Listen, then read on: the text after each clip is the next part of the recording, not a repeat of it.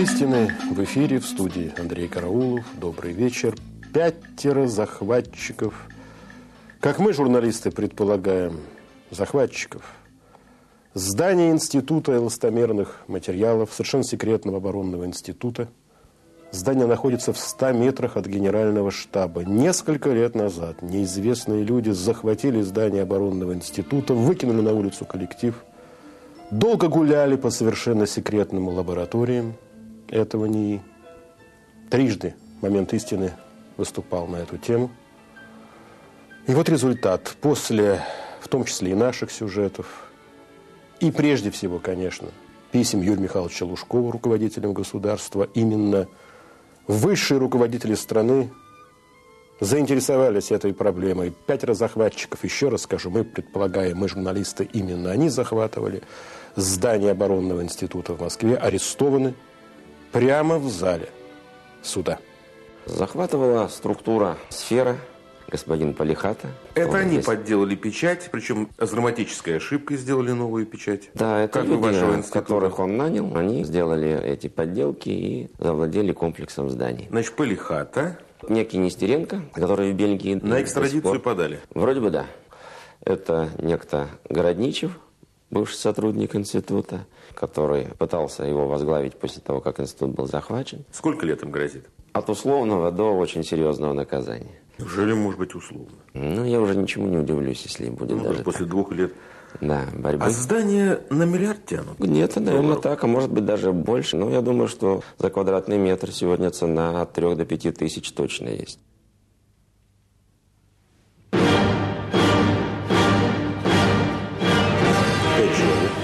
Арестованы в зале суда в первый же день судебного заседания рейдеры.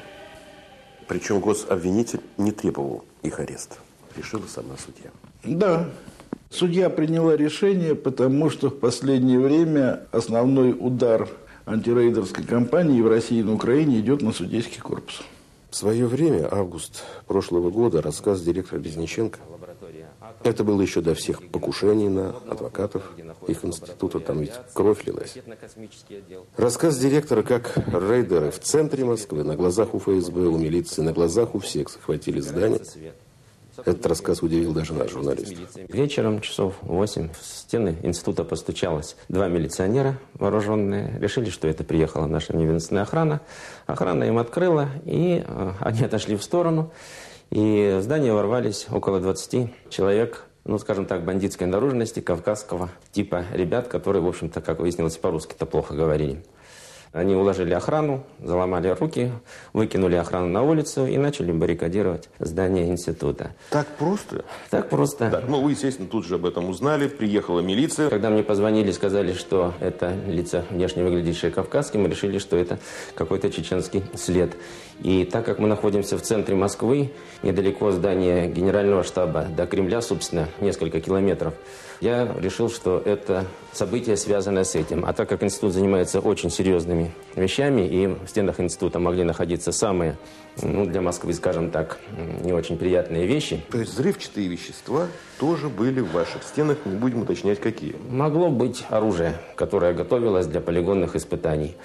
Его применение может вывести за какие-то считанные минуты пол города Москвы. Немного меняется. Ну, во-первых, хорошо сдвинулось за последние полгода в сознании депутатского корпуса. Вот вы мне объясните, у этих захватчиков было не просто фальшивое решение суда.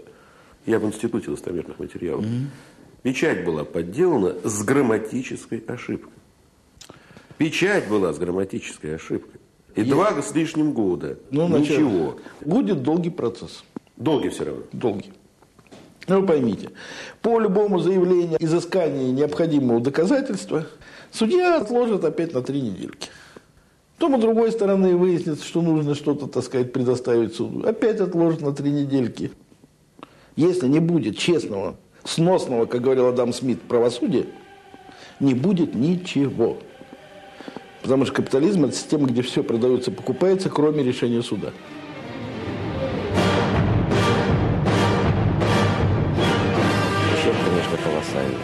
Все лаборатории уничтожены? Помимо захвата зданий уничтожено оборудование уникальное, уничтожена библиотека уникальная, оборудование которого у нас больше в стране ни у кого не было. Да, уничтожили просто, вывезли, и это и сегодня наносит огромный урон, потому что мы до сих пор не можем выполнить некоторые заказы, потому что без этого оборудования их выполнить просто нельзя. А сроки уходят, причем заказы серьезные, опять в интересах Министерства обороны. Кто же стоял за ними все-таки? Но какой-то Полихатов в центре Москвы, на глазах у всех, захватывают здание. Два года Юрий Михайлович Лужков, министр Пантелеев московский, пишет письма кому только можно. Безусловно, никакому Полихате и его команде не удалось бы совершить столь Ну, дерзкое. предположение, в чьих интересах работали? Ну, это люди, которые входят в высшие наши силовые структуры, которые все прекрасно знают и поддерживают вот эти захваты. Какие у них цели и почему они это делают, это отдельный вопрос. Но без такой поддержки Или в интересах ЦРУ, потому что уникальный институт. Контрразведчики что думают? эта ситуация, как я раньше говорил, не исключалась, и сейчас она не исключается, как одна из версий, что за этим может быть не просто экономические интересы стоят.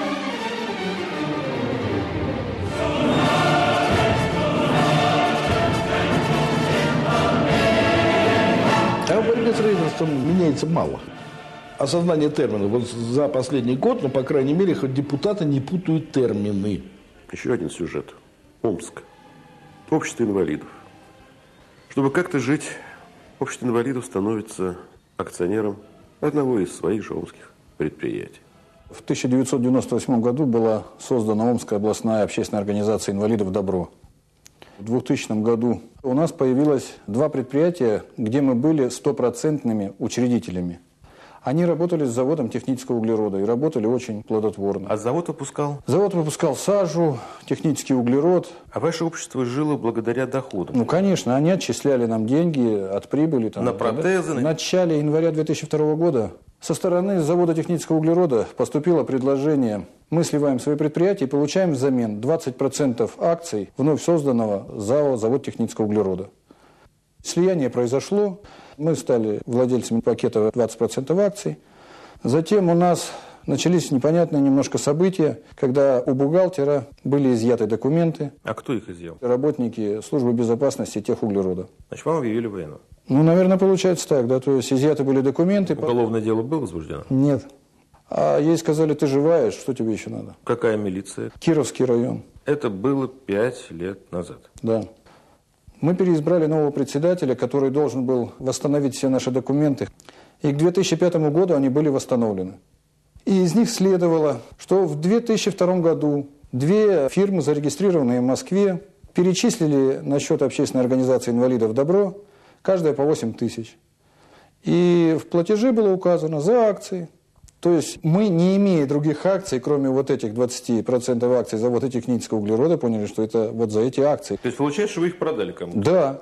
Естественно, мы никому не продавали и даже не знали. А фирмы в Москве вполне реальные. Да, реальная фирма. То есть вы решили разбираться с самим заводом технического углерода. Мы решили попросить у них реестр, чтобы показали нас как акционеров. Приехав в Омск, судебный исполнитель узнал, что реестр был украден на станции Екатеринбург из поезда. И вы остались без ваших предприятий. Без предприятий и без акций. Мы обратились в арбитражный суд. Арбитражный суд вынес постановление, что коли реестра нет, значит акций нет. То есть получается, что если не только у вас, а у любого акционера украли реестродержатель, ну, по логике суда, да, Да.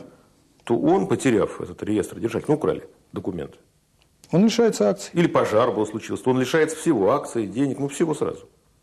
По решению суда, да. Получается так. И такое решение вынес Омский арбитраж. Да.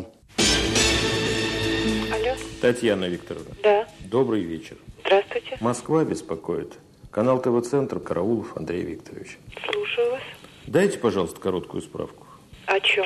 30.10 прошлого года арбитражный суд Омской области в составе судьи Целько, то есть вас, рассмотрел дело по иску Омской областной общественной организации инвалидов к Омскому же заводу технического углерода. Да, помню. Следствие доказало, что акции Омской областной общественной организации инвалидов были украдены в Екатеринбурге. Звонок ваш в чем заключается? Вы что хотите узнать? Я хочу понять, как суд и вы, молодая судья, вынесли такое решение. Фактически вы сказали... Просто Я на такие темы по телефону. Нет, тема одна. Как вы не боитесь принимать вот такие решения? Вы молодая женщина-судья. Вот не, это меня не интересует. знаю, с кем я разговариваю. Позиция губернатора Леонида Полежаева. Но он не вмешивается, потому Хозяйский что... спор. Да, да. А по большому счету мало что меняется. Вот омская ситуация, когда судья отбирает акции общества инвалидов, прекрасно зная, что просто потерян документ, украли их. Ничего в расчет не принимается. Раз нет документов, значит, вы никто, вы не владельцы. Опять рейдерство. Уже радует, что все-таки создан прецедент ареста банды рейдеров. Тем не менее, когда читаешь материалы дела, ужасаешься, диву даешься. Как может такое происходить? Когда В центре Москвы, еще Да, раз скажем. огромный комплекс, более 20 тысяч метров, Квадратных. 12-этажные здания. При этом меня поразило, как примитивно осуществлена была эта рейдерская операция. Психически больной человек, который находится на учете всех диспансеров из Узбекистана, объявляет себя президентом этого акционерного общества на основании фальшивой, Владельцем оборонного института Вот. То есть три года все должностные лица делали вид, что они не понимают, года, что да. это психически больной человек. Это ведь новое дело, как три кита, потому что и здесь были силовики, мы предполагаем. Они стояли за этой бандой. Без такого покровительства такая наглость была бы невозможна. Такие дела типовой характер носят. Вот то, что произошло с этим институтом, это, в принципе, схема действия рейдеров по Москве. Потому что очень многие люди думают, что рейдеры это какие-то очень хитрые люди, которые там что-то придумали, придумали что-то. И какие-то Примитивно всё. Да, белые рейдеры, которые так тонко завладевают предприятиями, что простому человеку и не понять, как они это делают. А оказывается, они берут бейсбольную биту, гастарбайтеры, потом поддельная печать, психически нездоровый человек из Узбекистана объявляет себя директором оборонного института. Что здесь придумал?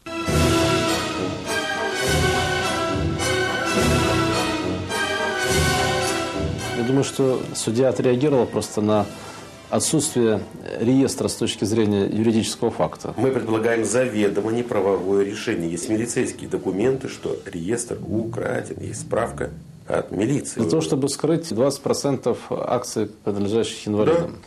Ну, у нас пока получается не вертикаль власти, а скорее пыль столбом, где каждая пылинка двигается сама по себе в общем хаотическом режиме. И если для того, чтобы наказать злоумышленников, нужно снять телесюжет и показать его президенту страны, и другого пути у нас Ты просто нет, намекаешь на институт эластомерных материалов. президент принимает решение и законность торжествует, это означает, что другие механизмы обеспечения законности в стране как минимум бездействуют. Но ворон ворона око ведь не выклюет, мы хорошо знаем. При тотальной коррупции в судах трудно рассчитывать на то, что судебное сообщество будет выдавать своих. Есть альтернатива по судебной системе. Она не идеальна, но гораздо лучше нынешней ситуации, когда судьи назначает глава государства, не зная даже этих людей. Есть выборы, выборы судей. То, что было у нас, и мы к этому возвращаемся через выборы присяжных. Но зачем имитировать То чужой есть ты опыт? предлагаешь вернуть выборный судей? Если была бы выборная судья, не нужно было бы городить огород с присяжными.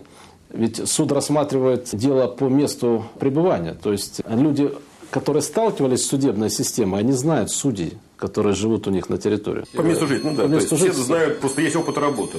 Поэтому если Работа вас на- миновала чаша суда, слава богу, но количество людей, которые сталкиваются с судебной практикой, у нас растет с каждым часом. Сереж, вот ты человек образованный, политик, член, корреспондент Академии наук. Скажи, пожалуйста, ты согласен с тем, что в любой цивилизованной стране мира, небольшой, Франция, Швейцария или имена тех людей, кто, допустим, эту мысль, устроил взрывы в метро, и суд доказал, что они преступники, они приговорены к пожизненному заключению, эти имена знали бы все жители страны или города хотя бы, где это было. Я с этим согласен. Скажи, Конечно. пожалуйста, ставим точку. Ты знаешь имена тех людей, вот ты, образованный человек, политик и член КОР, кто взрывал московское метро, а также устраивал террористические акты в других городах. Вот их сейчас осудили к пожизненному заключению. Ни я, ни большинство телезрителей Никто не не знает. смогут назвать эти имена, потому что главный вопрос, кто заказал, кто организовал, остался за Есть кадром. такое понятие «проклятые люди». Есть понятие «исчезнувшие из нашего обихода», нерукоподаваемые люди.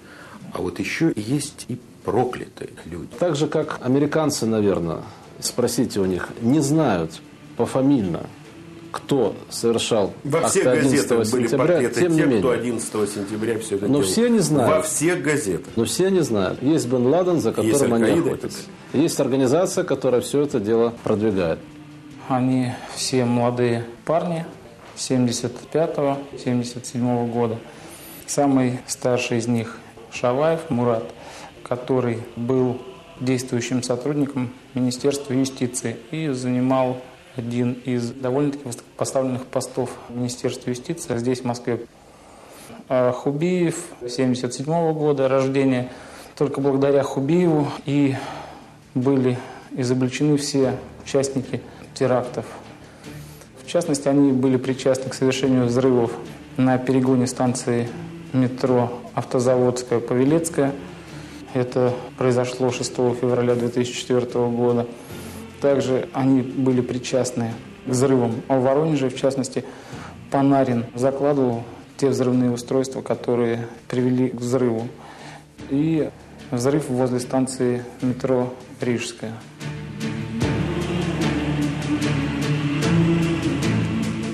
Боевики Карачаевского Джамата.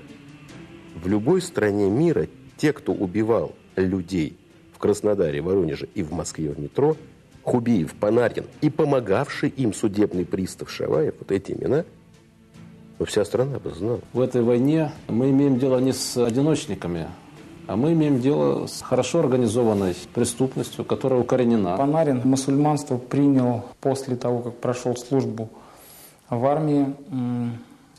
Родился сам в Будапеште, в Венгрии, из семьи военного. Впоследствии мать его развелась с отцом, вышла за карачаевца. И э, также Максим Панарин принял ислам. Младший брат его не стал принимать ислам и вести тот образ жизни, который и привел Панарина на скамью подсудимых. Для них важно то, чтобы был приверженцем радикального течения этого ваххабизма. Поэтому они внимания не обращали. Русский, не русский человек. То есть все остальные неверные, Все остальные неверные. их можно убивать, Убивать. и это даже почетно. Это приветствуется. И при их гибели они попадают в рай. А лишь там они обретают настоящую свободу и вечную жизнь.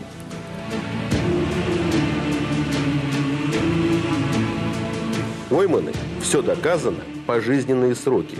Хубиев, Панарин и судебный пристав Шаваев. У нас никто этих имен не знает. Хотя о взрывах, естественно, говорили все. Это не вызывает уже той реакции, которую должно вызывать, потому что слишком много этого. Хубиев были образованы на Северном Кавказе две армии. Это Исламская армия Кавказа, Исламский институт Кавказ, где, в свою очередь, он получал оружие, заступал на посты по охране этих лагерей.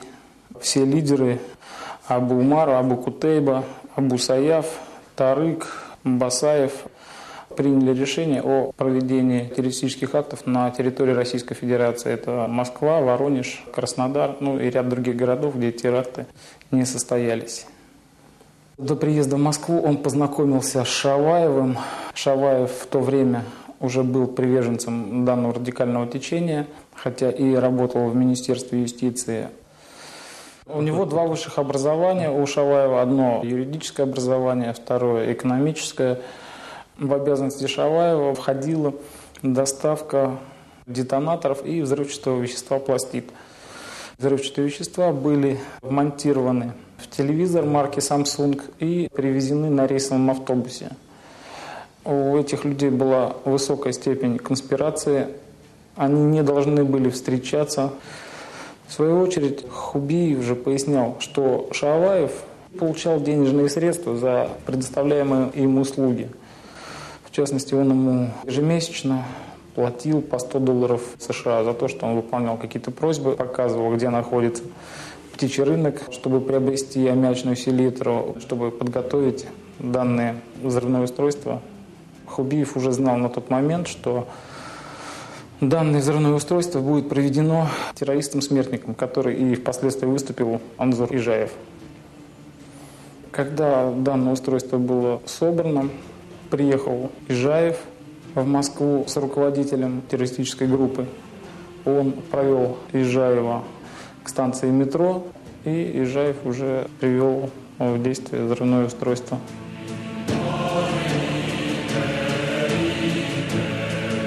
Больше всего в этом рассказе меня поражает даже не сумма 100 долларов за услуги полковнику Шаваеву. Полковник Министерства юстиции, два высшее образование, 100 долларов за услуги в месяц. Меня, Николай Александрович, поражает, как примитивно сама бомба-то была сделана, которая взорвалась в итоге на перегоне метро Автозаводская Павелецкая. Это было ведро, начинено поражающими элементами. Это шурупы, болты, скреплено пластилином, установлены детонаторы, выведены два включателя в карман куртки Ижаева, с помощью которых он и привел данное взрывное устройство. Ну, печально это все, прежде всего. Конечно. Э, и- Ну, и- уровень какой, да? и- да, и Взрыв, очень... о котором говорила Да. вся планета в московском метро. Да. Пластилин использовали, гвозди. Это идет от такой элементарной безнаказанности. Те дела громкие, которые были провозглашены у нас в России, они ведь до тех конкретных виновников, кто заказал, не Ну, слушай, ну, эти вот получили трое, да, все по пожизненному сроку. Басаев погиб, Хатап отравлен. Плюс еще взрывы. Они не имели прямого отношения к взрывам в Воронеже и в Краснодаре, эти люди. Но исполнители взрывов на автобусных остановках в Воронеже и взрывов в Краснодаре, они тоже погибли. Непосредственными исполнители уничтожены при их захвате. Это Сенченко, тот же Марван и э, другие. Вот, Андрей, вы обратите внимание, ведь на эти все вот события, за ними стоят вот исполнители абсолютно молодые люди. В том-то и дело. Он идет вот на Что это дело. идеология очень Да. сильная. Полковник, высокий чин, два высшее образование, кандидатскую написал, правда, Да. не защитил. Значит, идеология не за 100 же долларов. Воспитание, которое получает наша молодежь, моральный облик не поднимает. Николай Наоборот, Александрович, ну поговорим, ведь вакхабизму никто не учит. У нас есть пропаганда, слышу с этим секса, насилие, все это есть в каждом шагу. Вакхабизму. Ничего общего ваххабизм с исламом не имеет. Ничего общего. Для них и исламисты, если они неверные, не ваххабиты, тоже враги. Для этих радикалов. никто не учит, это правильно. Но кто-то же спонсирует, кто-то это дело Ну не за содержит. 100 же долларов полковник пошел. Да не за помогать 100. бомбу За 100 привезти. это просто мы знаем, что за 100. Ну да, Именно может, за другие какую. деньги были. Именно за какую, мы не знаем этого. Николай Александрович, вот на секунду поставим точку в этой истории. Три пожизненных срока, еще раз скажу. На следствии Шаваев давал показания на всех своих подельников, с удовольствием причем, на Панарина. Прежде всего, а полковник юстиции Шаваев, услышав приговор, пожизненный срок, сказал, что он будет жаловаться. Что один из тех, у кого ребенок погиб в метро, сказал ему в зале суда, прямо у клетки. Да тебя здесь расстрелять надо, он жаловаться. На всякого мудреца довольно простоты. Как герои они не сидели в этих клетках. Я о другом хочу сказать. Вот тут уже вся страна, вся страна обсуждала историю, как в Карачаево-Черкесии. Два года назад, меньше, зять президента оказался убийцей, причем серийным убийцей. Зять президента. Сегодня уже бывший зять. У меня вопрос, а почему с тех пор, когда вся страна говорила об этой истории, когда зять действующего президента расстреливал людей, депутатов в том числе, на даче у себя, вот так просто, на даче у себя убивал. Никто не спрашивает, что же сегодня происходит в Карачаево-Черкесии. И самый главный вопрос, не управляет ли уже бывший зять президента из тюрьмы по-прежнему какими-то процессами в республике? Он должен был сидеть в тюрьме, но он выходил на свободу и по ночам. И у себя на кемпинге был, и день рождения у себя на кемпинге отмечал. Там на кемпинге, где убили семерых ребят. В общем, отдыхал и ни в чем себе не отказывал. На море даже, вероятно, что и ездил. Отмечали, что он загорелый, сидит в клетке. Приглашал себе людей на дачу, тех, кто против него выступал. Говорил он, знаешь, где ты сидишь? Ты сидишь на месте Богатырева. Его вот убили на этом месте. Ты что ты против меня выступаешь? Что такое бахвальство? Да. В клетке сидел, когда в суде он, в принципе, и среди потерпевших только родители были, отец, мать, все люди преклонного возраста. А он грубил, хамил им там, сестре Богатыревой кричал по-карачайски, я тебя как твоего брата убью. Постоянно, в общем, оскорблял, грубил им, старикам.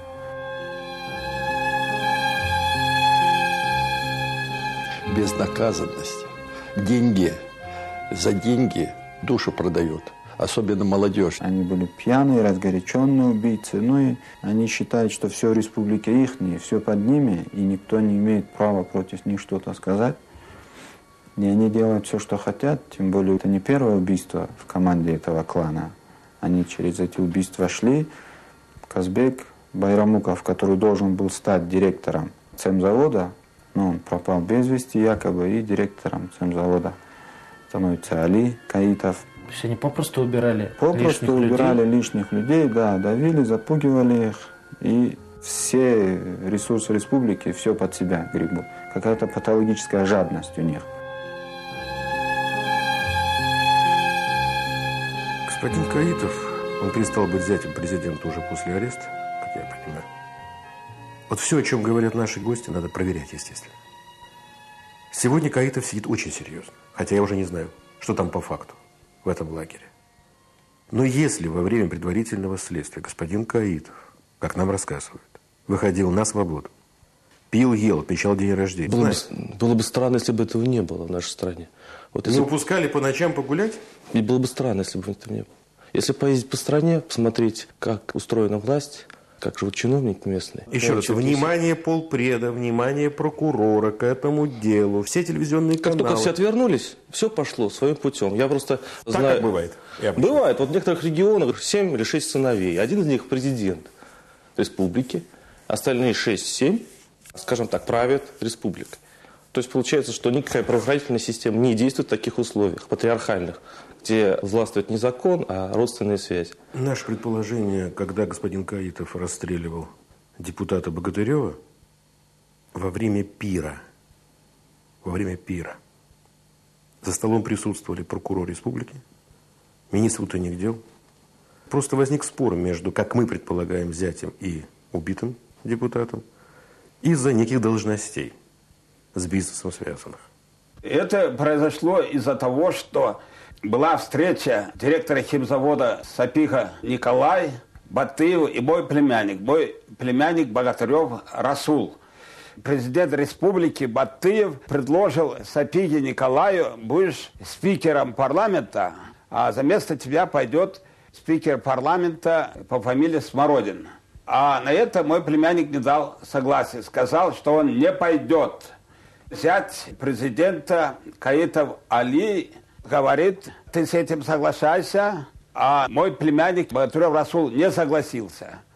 Раз он с ним не соглашается, получается, что он против и президента, и против Каитова Алия. И вот они убили, зять его, Каитова Али, они Как? его убили. У Исмайлова Германа родилась дочка. И на базе отдыха цементного завода они все собрались это отметить.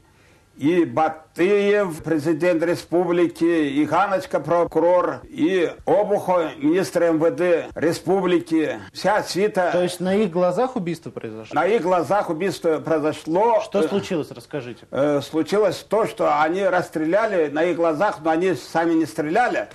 Каитов Али пригласил на собеседование. Он девять раз звонил моему племяннику, приглашал. Вся свита Карачаева-Черкесии здесь. Давай, мы не первый раз с тобой встречаемся. Обманным путем заманил туда.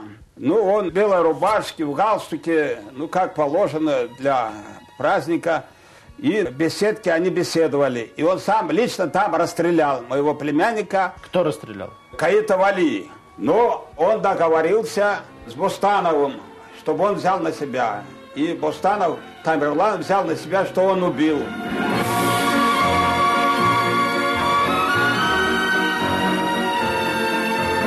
Расстреляли ведь ни одного Богатырева.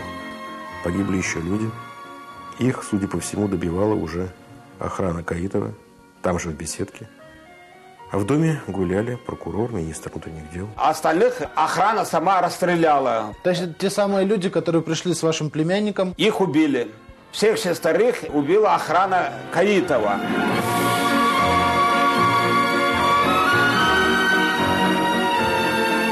Самое страшное то, что... Можно сказать, конечно, что власть бесконтрольна, можно сказать, что коррупция развилась. Поверить, что это и есть наша сегодняшняя жизнь в некоторых республиках невозможно. Возможно.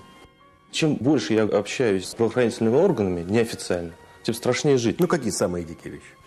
Ну, Скажем так, я буду оперировать в неназванном королевстве, неназванной области, значит, неназванный чиновник готовит подарки другому чиновнику, где фигурируют суммы в миллионах долларов, это, в связи, это, это надо еще проверять.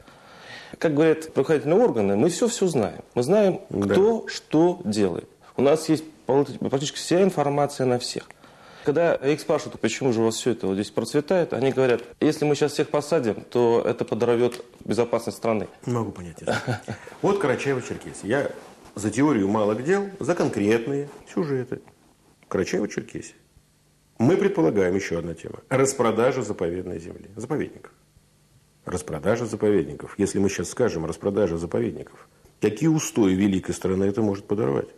Происходит конкретно федеральная собственность, то есть заповедные земли. Они делят, распродают, все по номерам идут по генплану полностью. Вся, документация, которая была, начиная с въезда, все растранжировали. Сейчас разворотных площадок нету, стоянок нету. А почему? Это же все от главы же зависит. Он же всему хозяином себя чувствует на территории муниципального округа, хотя он по закону должен быть слу- слугой народа. Он обязан. Сафар Лайпанов наш великий. Сколько он лет уже мэр? Это уже 12 год, как он сперва назначался, потом два раза избирался. Ранее было муниципальное образование. Теперь, чтобы изменить статус города, на чьей срок его выставить, умудрились переименовать с теми же населенными пунктами, не меняя ни территории, не меняя. Взяли муниципальный округ, образовали. То есть они Как бы- меняют законы да, себе в да, угоду? да, под себя. Парламент же их ниже карманный свой. Каэту Али забрали в СИЗО, где он сидел как кум королю и сват министру. И начальника тюрьмы все знают, что Каэта Али убил. Его тоже из-за того, что он ему запретил пользоваться сотовыми телефонами и руководил оттуда по сотовому телефону То есть республикой. он осужденный. Осужденный. Он сидит в тюрьме. Да. И тем не менее. командует руководит. республикой. По распоряжению Каитова за решеткой с тюрьмы назначен министром строительства Тамбиев. То есть человек сидит осужденный в тюрьме, Да, звонит президенту республики. да, и решает все вопросы по республике. Все, что маленький доход приносит, все должно быть под ними. Кроме них никто здесь не имеет права нормально жить, чем-то владеть, и иметь там свой голос. Не дай бог вообще там против них что-то сказать. Это самое страшное преступление.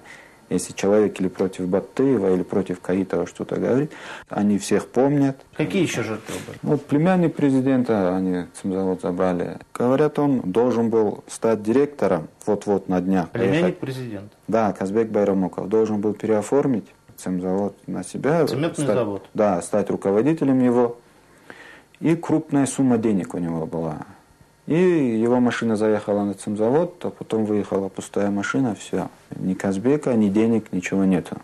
Ну, в печи, говорят, его сожгли, и все. Убил его, говорят, Али сам. лично. Президент в курсе.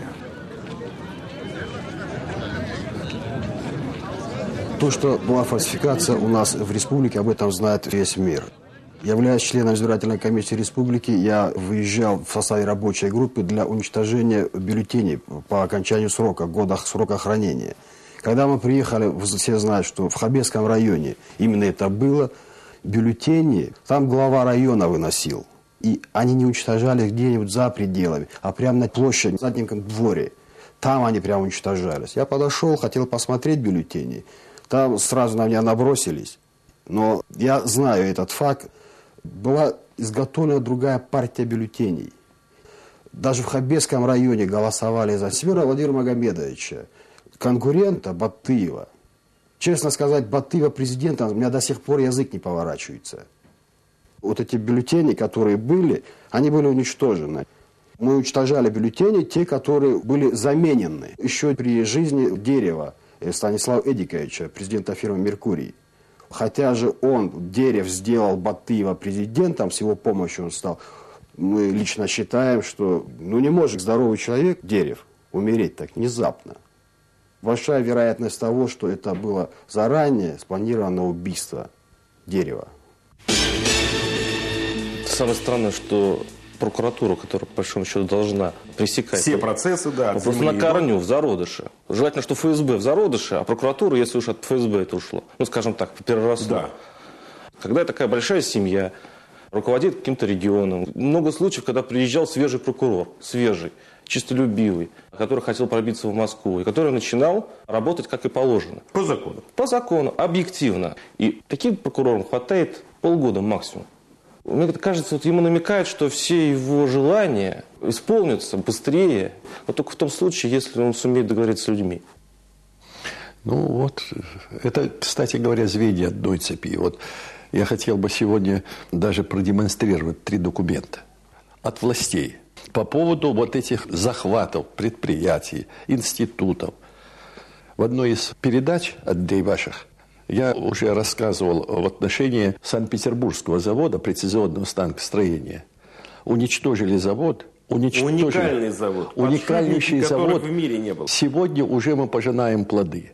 Вот, пожалуйста, самолеты падают, ракеты не туда летят. По-прежнему. И мы стыдливо умалчиваем, что, оказывается, система управления, сердце которых гироскопы. А что сегодня вместо питерского завода? Там сегодня склады.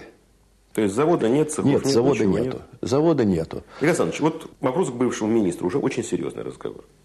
Я никогда не верил ни в заговоры, ни в мудрецов сионистов. Но когда уничтожаются предприятия, равных которому нет в мире, а это подшипники, это 21 век. Да. Я же помню, вы показывали эти подшипники в Питере, сделанные, которые меньше, чем головка от спички.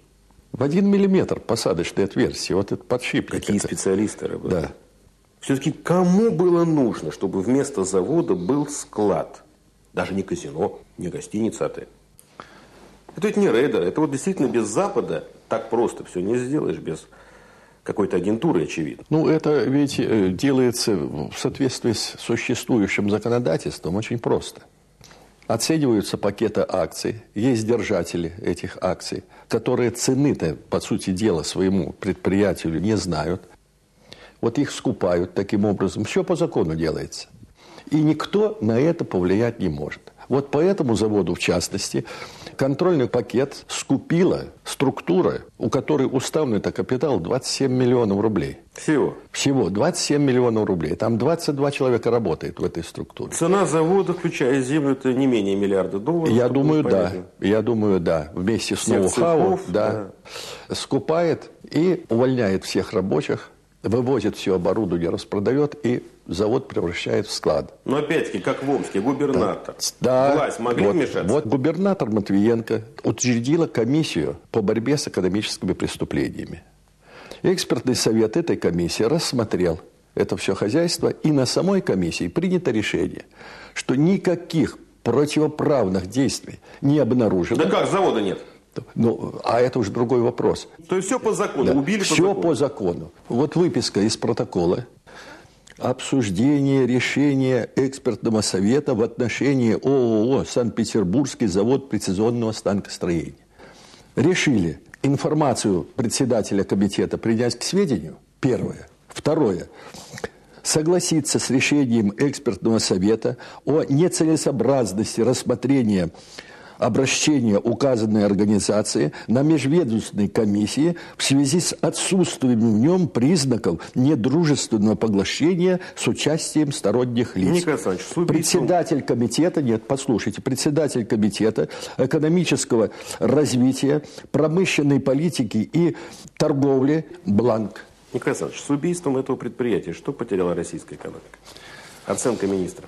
Я думаю, это миллиарды долларов. Миллиарды. Миллиарды долларов. И склад вместо миллиардов долларов. Да.